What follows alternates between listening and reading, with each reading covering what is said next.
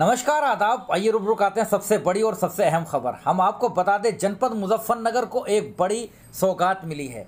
तहसील जानसठ सालारपुर के निकट। जानसठ के अंदर एक ऐसी फैक्ट्री का शुभारंभ किया गया है, जो कि इको फ्रेंडली होगी। और सबसे बड़ी बात है, विश्व के 11 देशों में ये फैक्ट्री स्थापित है और यहाँ से निर्यात होता है। अब भारत में, और वो भी मुजफ्फरनगर जानसठ में, ये एक बड़ी उपलब्धि है। आज इकोसोल होम के एक्सपोर्ट फैक्ट्री का विधिवत उद्घाटन भारत सरकार के ट्रांसपोर्ट एंड हाईवे मंत्री retired general B K Singh द्वारा किया गया। उनके साथ यहाँ पर राज्य मंत्री डॉक्टर कपिल देव अग्रवाल सहित काफ़ी गणमान्य लोग पहुँचे थे और देख सकते हैं वो तस्वीरें, रिटायर्ड जनरल वी के सिंह ने किस प्रकार यहाँ पर बनने वाले उत्पादों का निरीक्षण किया, अवलोकन किया और इसकी महत्ता को जाना। इस दौरान सबसे पहले आज जब राज्य मंत्री यहाँ पर पहुँचे थे तो कंपनी के मैनेजिंग डायरेक्टर से को फाउंडर राहुल सिंह के साथ उन्होंने फीता काटकर फैक्ट्री का उद्घाटन किया। 10 करोड़ की लागत से बना यह फैक्ट्री कुल चार एकड़ में फैली हुई है, जिसमें गन्ने के अवशिष्ट, पुआल, बाँस के पत्ते जैसे कई अन्य कृषि के अवशेषों से इको फ्रेंडली वे कंपोस्टेबल किचन वेयर और टेबल वेयर जैसे होम एसेंशियल का यहाँ पर निर्माण होगा। उद्घाटन के अवसर पर बोलते हुए राज्य मंत्री ने कहा कि ये फैक्ट्री क्षेत्र और प्रदेश के विकास के लिए मील का पत्थर साबित होगी। उन्होंने कहा कि ये फैक्ट्री न सिर्फ़ प्रधानमंत्री नरेंद्र मोदी के dream project make in India की दिशा को आगे बढ़ाएगी, बल्कि एक कदम आगे। अपितु किसानों और वंचित महिलाओं के लिए ये रोज़गार सृजन का एक सशक्त माध्यम भी साबित होगी। राहुल जी को इस शुभ कार्य के लिए उन्होंने शुभकामनाएँ दी। उन्होंने कहा कि राहुल ने उन लाखों युवाओं के लिए एक प्रेरणा स्रोत का कार्य किया है, जो पूर्ण समर्पण से पर्यावरण के प्रति यथाशक्ति अपनी भूमिका का निर्वहन कर रहे हैं और देश की आगामी पीढ़ी को एक सुरक्षित पृथ्वी सौंपना चाहते हैं, जैसा उन्हें अपने पूर्वजों से मिला था।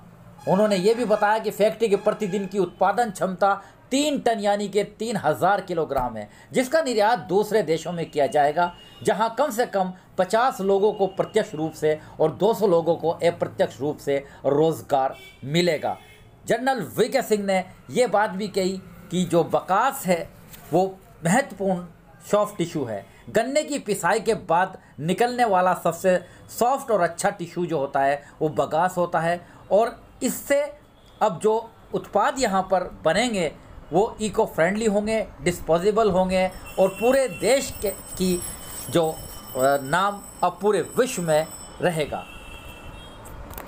शुभारंभ समारोह में बोलते हुए इकोसोल होम के को फाउंडर राहुल सिंह ने बताया कि प्रारंभ से ही किसानों और सुदूर ग्रामीण महिलाओं के जीवन को उन्नत बनाना उनका लक्ष्य रहा है। प्रदेश के अन्य क्षेत्रों में से एक, गन्ने की खेती में प्रमुखता के कारण हमने मुजफ्फरनगर को अपने फैक्ट्री स्थापित करने के लिए चुना है क्योंकि हमारे कई प्रोडक्ट गन्ने के अवशिष्ट यानी खोई से तैयार किए जाते हैं। इसलिए क्षेत्र हमारी आवश्यकताओं के साथ पूरी तरह से मेल खाते हैं। इसके अलावा ये फैक्ट्री ग्रामीण महिलाओं को रोज़गार के माध्यम से सशक्त बनाने का एक बेहतर कारगर मार्ग साबित होगा। उन्होंने कहा कि कई लोग रोज़गार सृजन के लिए महानगरीय केंद्रों की ओर रुख करते हैं। मैंने एक अलग दृष्टिकोण चुना है। टीयर टू शहर मुजफ्फरनगर में उच्च भुगतान वाले पद प्रदान करने के उद्देश्य से इकोसोल के मैन्युफैक्चरिंग प्लांट के लिए ये क्षेत्र एक बेहतर विकल्प है, जो न केवल लॉजिस्टिक खर्चों को कम करेगा, बल्कि समाज में सकारात्मक योगदान देने में भी अपनी सार्थक भूमिका निभाएगा। उन्होंने बताया कि Ecosoul Home Inc one thousand six hundred से अधिक इको फ्रेंडली उत्पादों के साथ विश्व में पर्यावरण अनुकूल उत्पाद बनाने वाली प्रमुख कंपनियों में से एक है। इसकी उपस्थिति यूएस से Canada UK Germany UAE Bharat चीन मलेशिया थाईलैंड मैक्सिको और वियतनाम सहित 11 देशों में है। इकोसोल की उपस्थिति वर्तमान में D to C Amazon Walmart dot com और 4,800 रिटेल स्टोर्स में है। इसके कई महत्वपूर्ण बी टू बी बिक्री चैनल भी हैं। अपने कैप्टिव मैन्युफैक्चरिंग के अलावा इकोसोल होम भारत, चीन, वियतनाम और मैक्सिको में 150 से अधिक बड़े और छोटे अनुबंध निर्माताओं के साथ सीधे काम करता है, ताकि किसानों, निर्माताओं और छोटे व्यवसाय ऑपरेटर से सीधा उत्पाद प्राप्त किया जा सके और इस प्रक्रिया में बिचौलियों को ख़त्म किया जा सके। बहुत बड़ी बात, आज यहाँ पर जो मैनेजिंग डायरेक्टर थे तथा इसमें प्रियंका एरन ने भी जानकारी दी। आइए सुनवाते हैं इस मौके पर। बगास की महत्ता के बारे में जानकारी देते हुए रिटायर्ड जनरल वके सिंह ने क्या कहा, पहले सुने उन्हीं के कुछ अंश पत्रकारों से वार्ता करते हुए। इनका बहुत बड़ा एक उद्देश्य जो इन्होंने थोड़ा बताया भी, लेकिन लोगों को समझ में नहीं आया।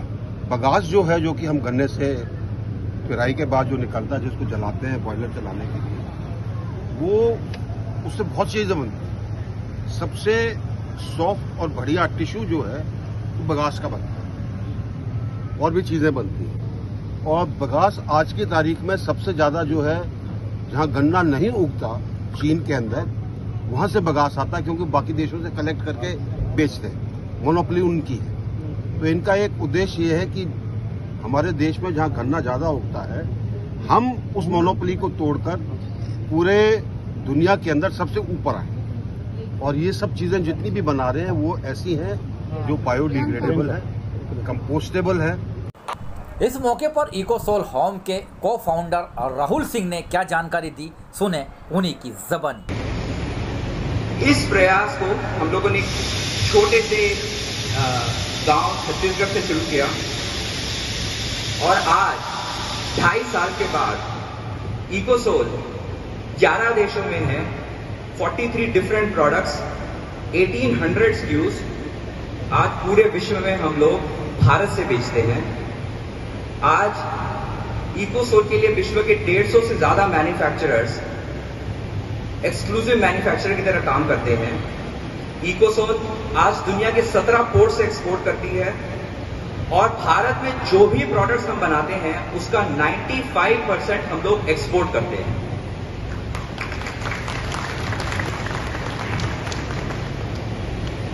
तो दो साल का हमारा ये सफ़र रहा।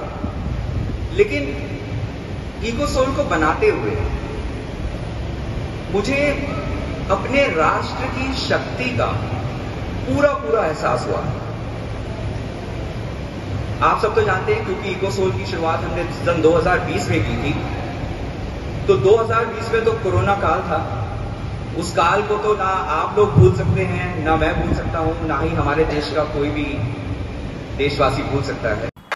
इस मौके पर managing director Priyanka Aeran Singh, factory general manager Saurabh Aeran राज्य मंत्री कपिल देव अग्रवाल बार संघ जानसठ के पूर्व अध्यक्ष प्रदीप गर्ग ने भी अपने विचार व्यक्त किए। अगले एपिसोड में हम आपको दिखाएँगे मैनेजिंग डायरेक्टर प्रियंका एरन से विशेष वार्ता हुई है। इस क्षेत्र के लिए क्या बड़ी सौगात मिली है, क्या है इस फैक्ट्री का उद्देश्य, उनसे पूरी जानकारी और किस तरह से उन्होंने बताया है इस प्रोडक्ट के बारे में अगली ख़ास खबर भी है। अहम, उसको भी देखना ना भूलें। बने रहिएगा और बड़ी अपडेट के लिए मेरे साथ आरिफ शीश महली, चीफ एडिटर बार और bench, and news in today Lucknow, Muzaffarnagar.